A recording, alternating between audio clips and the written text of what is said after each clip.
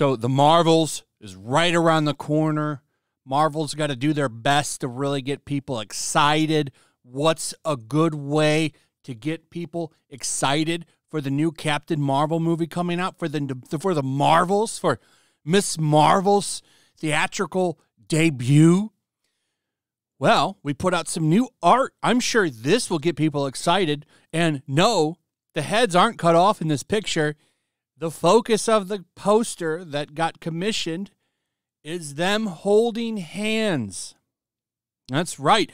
I'm sure every one of you watching this video is now excited to go see this movie. I'm sure you can't contain your excitement. You're probably now buying tickets as you look at this. Everyone's laughing at this and dunking on it because it's a joke. Now, what's funny is every outlet is now running damage control. And I talked about this yesterday. Captain Marvel's sequel could bring in half of original amid superhero fatigue. Here are the best and worst performing films of the genre. We'll come back to this. Here's one from GameSpot. The Marvel is expected to make half as much money as Captain Marvel in opening weekend. The Marvels is expected to fall short of the first movie at the box office. Well, no shit. No shit. yes, that's true. Uh, it's going to make a lot less than the first one because you don't have two of the biggest movies of this generation uh, to prop it up. It's going to be hilarious because the cope has already started. And all of these outlets are screaming superhero fatigue. People are tired of superheroes. Superheroes are done. It's over for superheroes. Until you look at how good Spider Man 2 is selling for PlayStation, and this is only on one system. You can't get this on PC. You can only get this on PlayStation, and it still sold 2.5 million copies in 24 hours. Everyone is willing to plop that 70 bucks down maybe even more, depending on what they bought. If they bought the deluxe edition or the collector's edition, they probably spent a hell of a lot more. So people seem to be pretty damn excited for superheroes uh, if it's something that they want. Everybody loves Spider Man. I don't see any fatigue here. I see millions of people rushing out to download or buy this game. I wonder how it's it's sitting at store shelves that still sell games. I wonder if they're all sold out of the physical copies. I haven't gone and looked yet, but you know, it's funny. Uh, you can actually pull something out to contradict everything all these outlets are saying. And look up the Marvel's superhero fatigue. You'll see at least 20 articles now claiming that's the reason that it's failing. And this clearly proves that there's no real superhero fatigue The problem is there's bad movie fatigue. This picture represents Marvel Phase 4. this this is actually the perfect example of Marvel Phase 4 right here. This is what the MCU has become. Nobody's excited for this shit. This is like saying, "Oh, Barbie's audience is going to come in and save them." They've completely discarded their main audience. For example, my channel uh, has 9% of my total views are women. The rest is all men. Why? Because men like comic books, action movies, just about all the stuff that has been destroyed by a lot of these companies because there can't be anything for just men anymore. It has to be for everybody. But women can have movies made for them.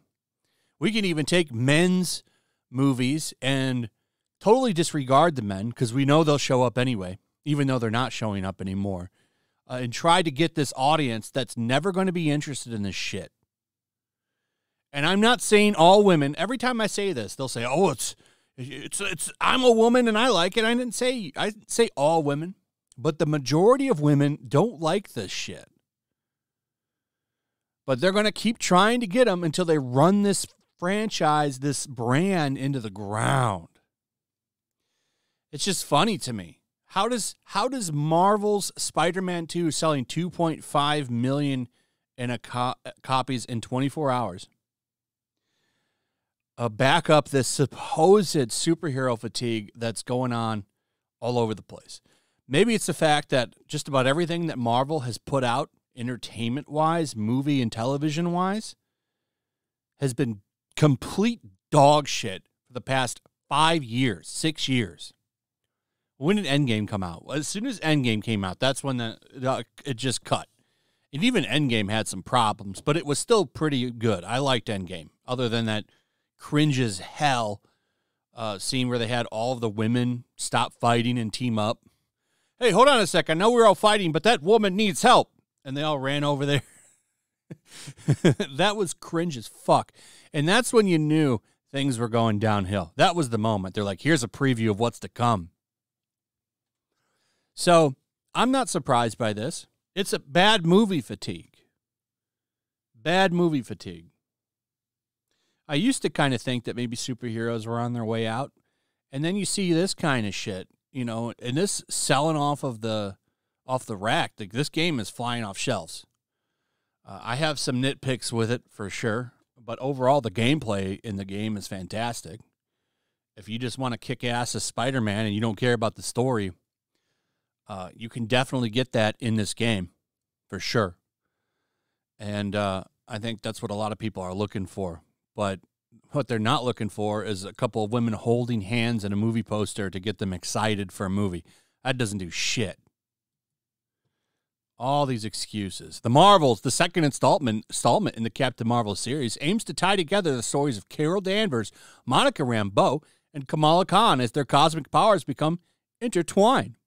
Box office projections for the Marvels are disappointingly disappointingly low compared to previous Marvel films, potentially setting up the movie for failure even before it releases. The declining interest in superhero movies, oversaturation saturation of the market, and mediocre reviews of recent MCU releases are contributing to the potential lack of success for the Marvels despite its potential as a breath of fresh air for the franchise.